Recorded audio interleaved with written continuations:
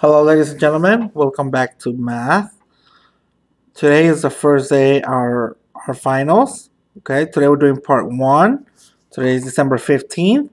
Remember, you have till the end of the day to turn in the answers. Okay, to all three parts. One, two, three. Okay. Remember, all the answers have to be completed. The work must be neat and easy to read. All right five parts of the final. Each part is 20 points. Okay.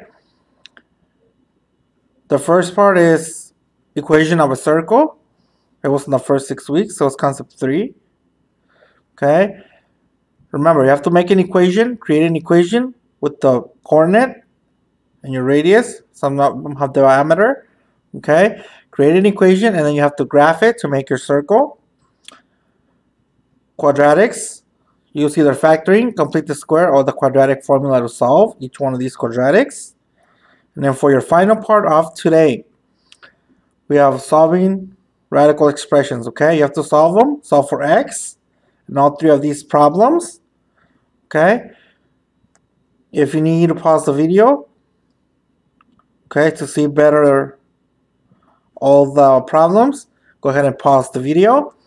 Remember guys, you have till midnight to turn it in. Make sure you submit your answers as soon as you're done watching the video, and I'll be waiting for your email.